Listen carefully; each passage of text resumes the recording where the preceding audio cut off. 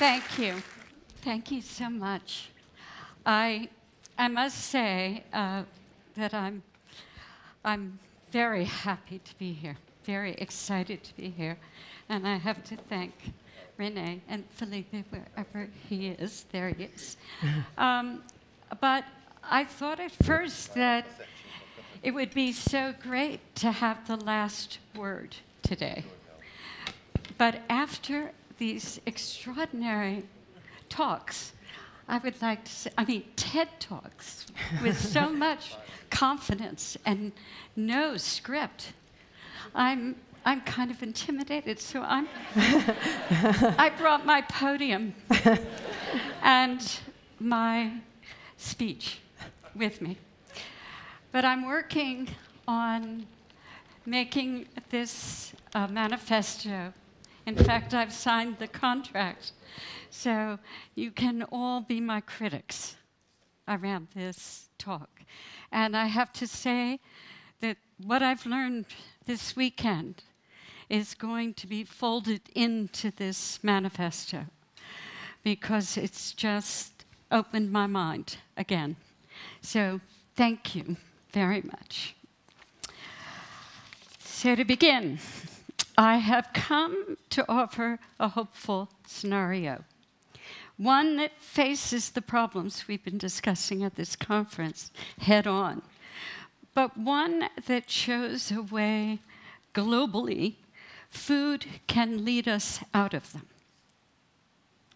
We all know that there are grave issues facing our world today addiction, environmental degradation, political and economic inequalities, land use poverty, childhood hunger, and the overarching climate change.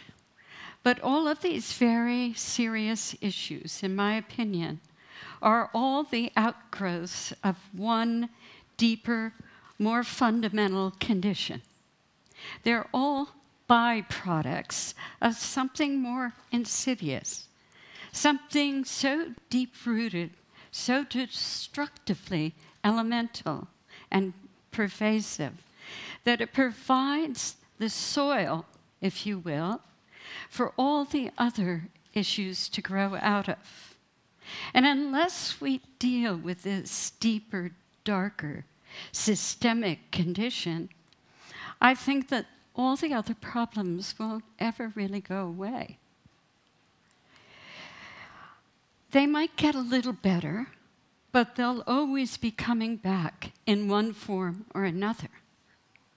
By not addressing this extensive underlying condition, I feel that we're trying to cure the symptoms of a disease without dealing with the root causes of the disease itself. So, what is this deeper, more fundamental condition? The well known author, Eric Schlosser, has pointed out in the United States that we live in fast food nation. Sad to say, fast food is the dominant way people feed themselves in my country. Surprisingly, people don't know this or don't want to know this.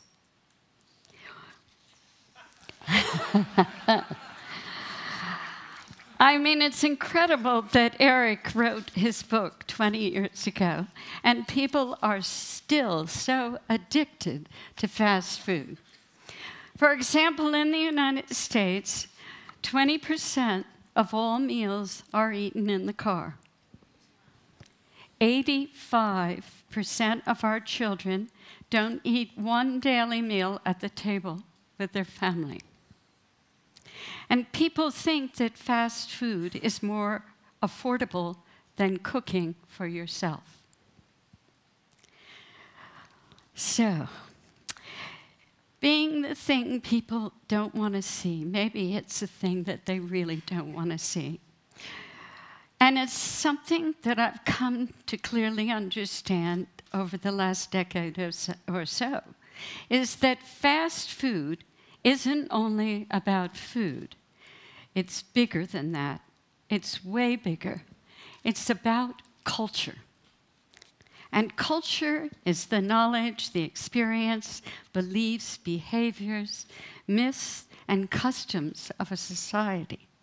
It's the invisible moral structure underneath everything that's guiding us all consciously and subconsciously, and therefore it's affecting everything we do. Culture defines our points of view.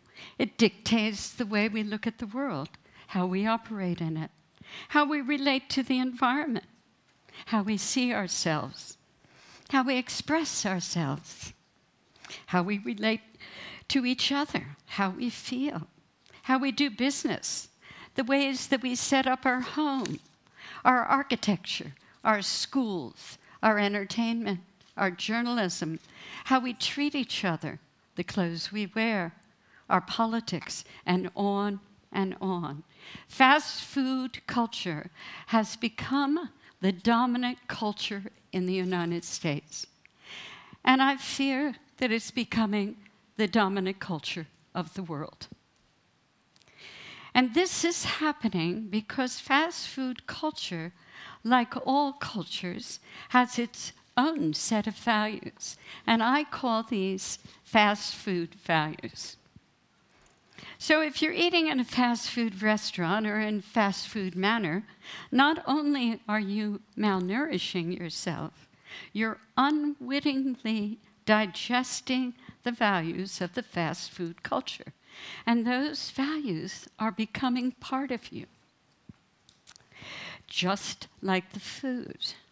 And once those values become part of you, they change you. You begin to have a different outlook on things, different craving, different moral standards, and different expectations.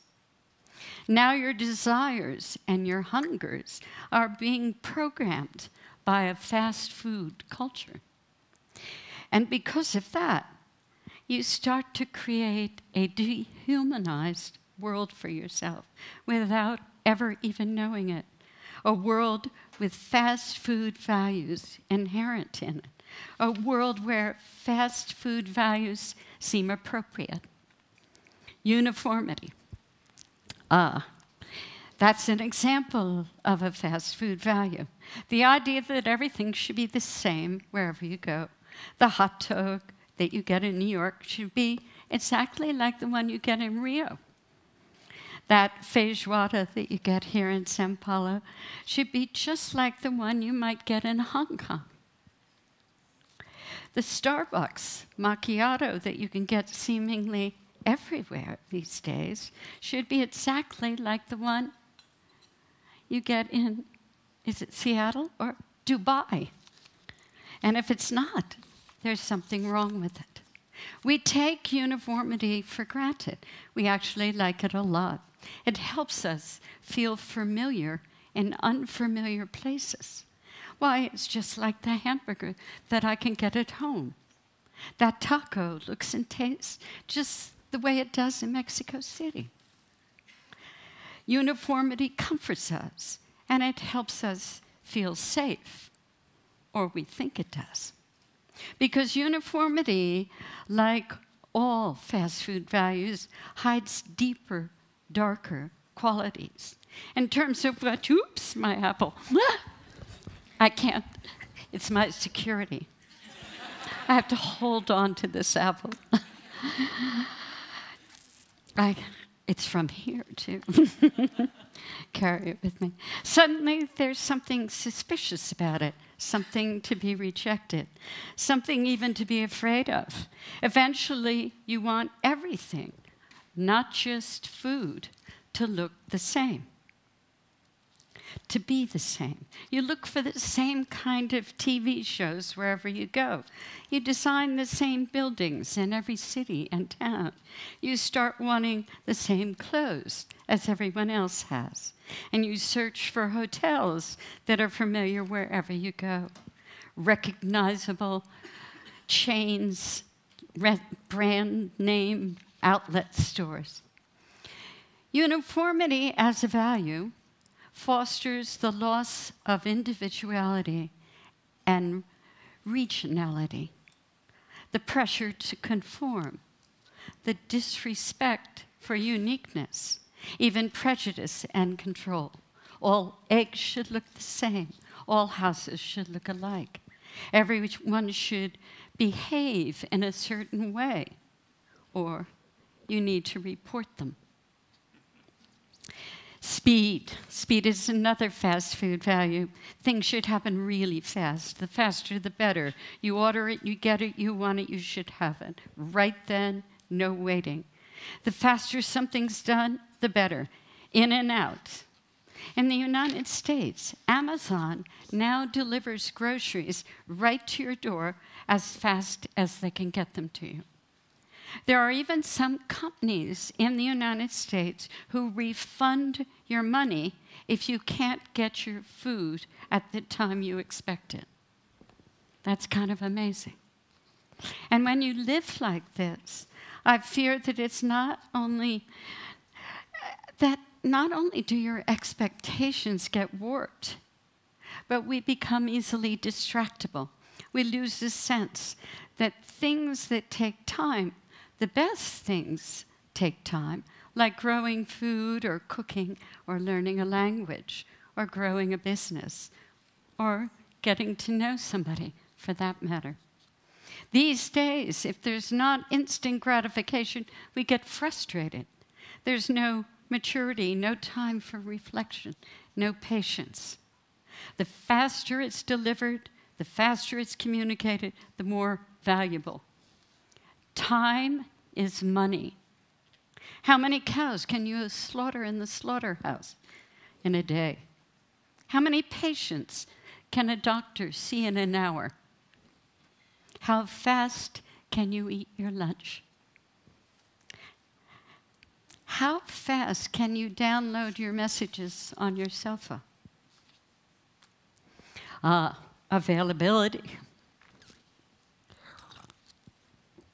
There, that's another fast food value. The idea that we should be able to get anything we want wherever we are, whenever we want it, 24 7. You should be able to get an avocado in the Andes in the middle of winter, and you probably can. Sometimes, sometimes you can even get Evian water in Nairobi, a pineapple in Tierra del Fuego.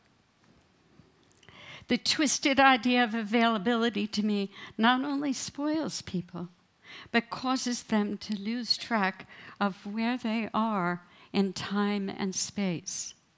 With the constant availability, seasons stop mattering. Why wait for the late summer apples that are grown right down the road when we can get cryovac ones at the discount store all year long. Suddenly, what's indigenous to certain places becomes unclear, maybe even irrelevant. Local culture and the specialness of what's happening here and now becomes less important than the big, homogenized, get anything you want global reality, or in my view, unreality. Cheapness, ah, this one. This is so omnipresent in the United States. There's a complete mixing up of the idea of affordability and cheapness. There's a deep feeling that value equates bargains. Buy two, get one for free. Four hamburgers for a dollar. Food for less. One of the first things that Jeff Bezos did the president of Amazon. Amazon. Interesting in this conference. President did when he bought, has a whole new feeling for me. Did when he bought Whole Foods, the semi sustainable grocery chain in the United States, was to drop prices Yes, some customers were benefited by that. But what about the people who were growing the food and bringing it to market? Fast food culture makes you conveniently forget about them and also about the environmental costs of farming on a massive scale and the amount of carbon needed for the transportation and refrigeration. With cheapness, nobody understands the real cost of anything anymore. One, because nobody ever tells them, and two, everything is priced artificially, supported by subsidies and corporate sleight of hand and credit. When cheapness has such a high value, no one talks about the quality of things anymore, or how good or bad it might be for you or for the planet. It's just what a good deal it is. What a good deal. The truth is, and it's something that we all need to learn food should be affordable but it can never be cheap. When I hear somebody say, I got this cheaper over here, I just feel intuitively that somebody somewhere is being sold out. You cannot not pay for something over here without someone over there not getting what he deserves or she deserves. And not expect to have other problems in your life over there, such as those we're having with the environment and climate change. Uh, more is better. The more you pile on your plate, the happier you'll be. The more cans on the shelf in the big box discount store, the better. The bigger the buffet, the more awesome. Basically, the more you have, the more choices you're offered, the better. I find this fast food value so strange because to me, when I get too much stuff or have too many choices, I get overwhelmed and I feel burdened. There's no room for discernment, there's just weight and volume. And with the volume comes so much waste. In the United States, our garbage bags and landfills keep getting more and more filled with boxes and bubble wrap from things shipped from halfway around the world. There are even storage units now right on the west, the river on the side of New York. Storage units in in what were once huge apartment buildings. And they're just for putting all the stuff that we can't fit in our houses anymore. We have to store them so we can buy more. Fast food, ah, terminology. Where is terminology? There it is. Fast food culture also co opts the meanings of words in order to make a profit. And I call this a terminology problem. What does organic mean these days? Natural. For that matter, what does local mean? Or fair trade? Or fresh? When things are two or three weeks old and shipped from thousands of miles away. The definitions of these terms have been hijacked, and they seem to fluctuate and have more to do with marketing and presentation than attempts to clarify and inform. And what's scarier is how fast these terms get hijacked. When the food movement finds a new term that works for us, like sustainable, it gets absorbed immediately in the fast food culture, and it's used everywhere indiscriminately. If no, it, the term becomes cloudy and misleading, if not meaningless. Take the words pesticide free or government approved. How about pasture raised? How about pasture raised?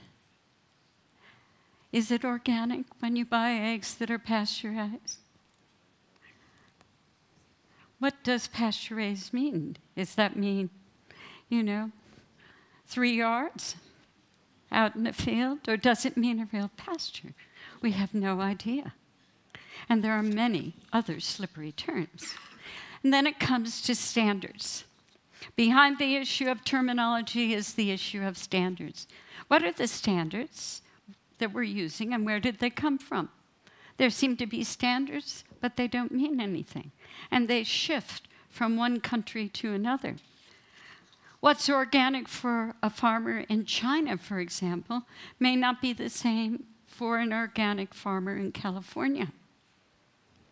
And so it confuses everyone, defeating the purpose of having standards in the first place.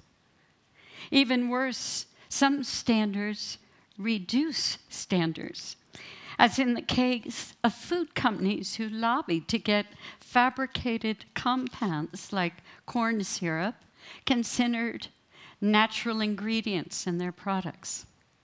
Another standard that's baffling to me is the idea of carbon credits. If you pay for them, you get a free pass, in a sense, to pollute in other countries. What kind of standards are those? They feel like entitlement standards. Tell me, do, do carbon credits really help to save the rainforests in Brazil? in many cases, standards are kind of a deception kind of a lie. Another fast food value dishonesty. Perhaps the biggest fast food value of them all dishonesty. Actually, I used to think dishonesty was the biggest fast food value of all, and now I think it is greed. Greed. Greed is the value that's causing the most destruction in our world. The impulse to honor profit and financial accumulation over human value and environmental protection. I should not be shocked, but I have to say that I am. I'm shocked by the persistent collusion between corporations and governments and those responsible for protecting and nurturing our precious food supply and natural resources. So, so yes, there is a fast food culture, and yes, it permeates every aspect of our lives. And yes, it is literally changing the world we live in. But fortunately, there's a counterforce. and I call it an antidote, and no surprise, slow food culture. And slow food culture has its own set of values. And I call these slow food values. You know these. You know these. Sustainability. Ah, sustainability. Seasonality diversity, economy, interconnectedness, interdependency, responsibility, collaboration, authenticity, generosity. By the way, all of these photographs were taken at the Edible Schoolyard Project in Berkeley at Martin Luther King Jr. Middle School. So, so how do we awaken values like this? How do we champion slow food values in a fast food world? How do we rediscover them, cultivate them, and make sure they take root and flourish? In other words, how do we educate people and show them how to nurture slow food values in our daily lives? I feel very deeply that schools are the best place to, to make this happen. Education in the United States is our last truly democratic institution. Schools are the place where we can introduce and teach a new way of living and caring for the environment to a new generation. They're the common place in all cultures, I believe, where we can reach every student equally and rapidly while they're still young and open and learning before they've been indoctrinated by a fast food culture. Schools are, in my opinion, the places where we can create deep and lasting change. For the last 25 years, I've been working on building an alternative, an edible education curriculum for all of our schools. It's a curriculum that uses an interactive kitchen and garden classroom to teach slow food values as part of all of their academic subjects. We now have a network of 6,500 schools around the world. And the centerpiece, this is the most important, the centerpiece of this vision needs to be a new kind of cafeteria where students sit down together in the middle of every day and share a freshly cooked organic meal.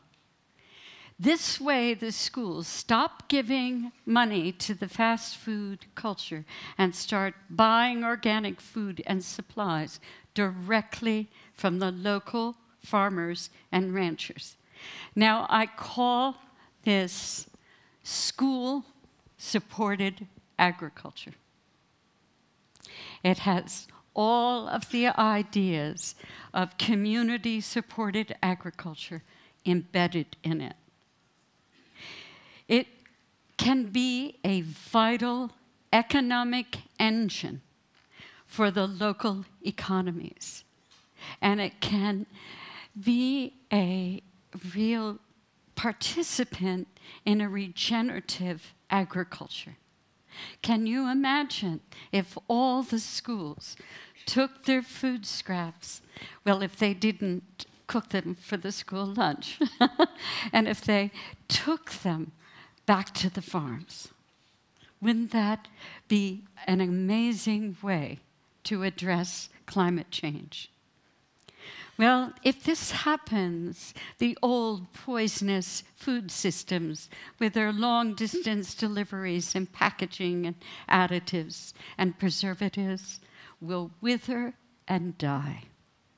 New, vibrant, self reliant, sustainable food networks will be born.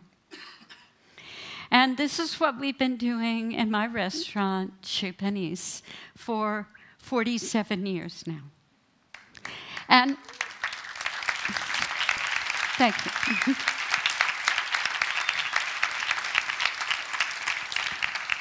but it was always a great pleasure for me. It never, ever was work. When we met Bob Cannard, our farmer, um, we gave him seeds. Oops, it's not my apple this time. my microphone. Uh, we gave him uh, seeds and we said, Bob, plant the seeds.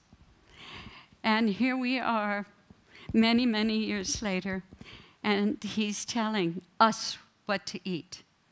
He says, I have nettles. I have these wild nettles growing all over. Can you make something out of them? And so, one of the really successful dishes of Chez Panisse is a nettle pizza. And people order specifically because they cannot imagine eating anything like that. It's all prickly and sticking out in the, in the fields. So, what we've done is really cut out the middleman completely. Cut out the middleman. We may have, you know, 30, 40, 50 people that we buy food from during the course of the year. And one may have just one huge mulberry tree. and some of them provide us. Bob provides us with salad every, every day. And so it's, it's kind of amazing what could happen. Um, and I guess this is what, why, uh, why Alex and, and has named this, um, this speech How to Rock the Food System. Because this is the way. I'm telling you, this is the way. It's so unbelievably subversive. Nobody knows if you're buying, if you use that school money, you can buy directly. I know because we have experiments already happening all around San Francisco for the same minuscule budget that the United States government reimburses the schools. We can do this. We can do this because the farmers want to help us. They want to be paid the real cost of the food. And when you ask a farmer to sell to, to the grocery store, they have to sell it wholesale. And just imagine when the farmer gets the real cost of the food. So I call this a very delicious revolution. Thank you.